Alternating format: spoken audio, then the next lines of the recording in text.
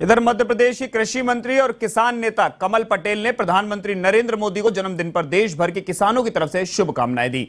भोपाल में मीडिया से बातचीत में उन्होंने आशा की है कि प्रधानमंत्री मोदी हमेशा कमल के फूल की तरह मुस्कुराते रहें और इसी मनोकामना के साथ नर्मदे हर ज़िंदगी भर। सदैव सदैव कमल पटेल।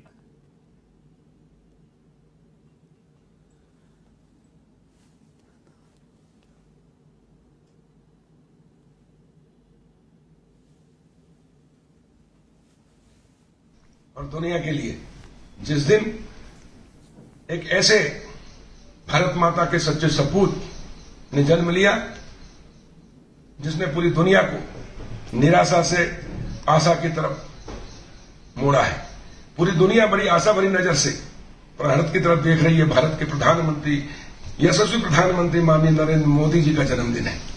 मैं अपनी ओर से मध्य प्रदेश की जनता की ओर से किसानों की ओर से माननीय प्रधानमंत्री नरेंद्र मोदी जी का अभिनंदन करता हूँ जन्मदिन की बहुत बहुत शुभकामना देता हूँ।